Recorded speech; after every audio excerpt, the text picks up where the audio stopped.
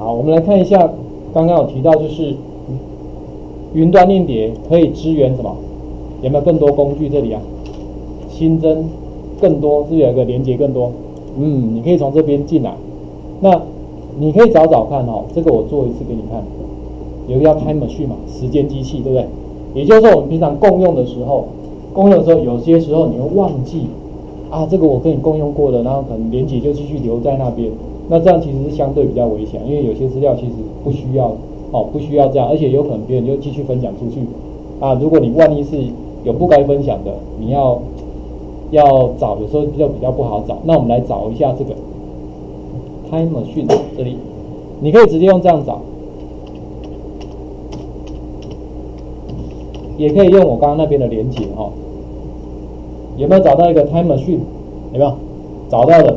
那你就可以把它加进来，因为我已经有增加了，好，已经有增加了哈，已经连接有没有？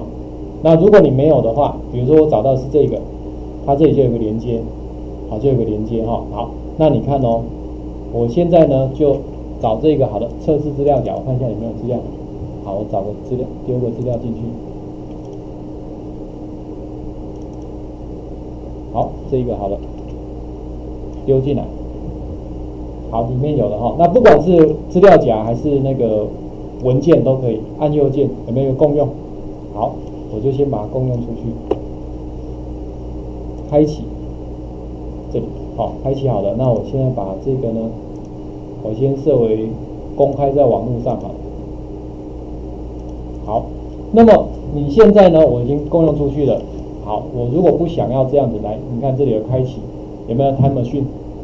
好，点一下。虽然画面是英文的哈，但是没有关系，因为 Google 的有翻译嘛哈，你有需要可以按一下这里。好，按这种矿物了哈，谷歌驱动器，怪怪的。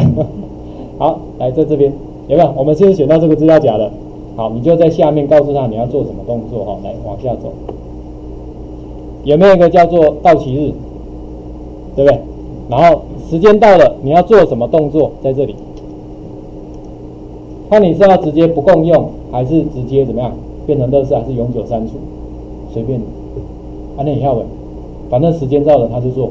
当然你在用这个这个部分的时候，比如说我现在到五点好了哈，到五点。好，然后呢，我就开始添加到任务。啊，已经过去时间，十六哦，我弄错了，十七。好，十分秒了哈，来这里添加，然后它会要求一些权限哦哈，有没有？我都已经加进去了，你看，我在这里有没有个测试资料夹加进来的？啊，我前几天我再稍微试一下，哎，这个录影的，啊，所以你看它有的有没有成功的？后面有个 success 成功的，表示说，哎，这个已经执行过，而且是成功的，这样就好了。这样你了解吗？好，所以你透过这个方式，我相信应该对于就是我们有时候你怕分享出去的忘记关掉，是一个很好的一个一个扩充工具。哈，好。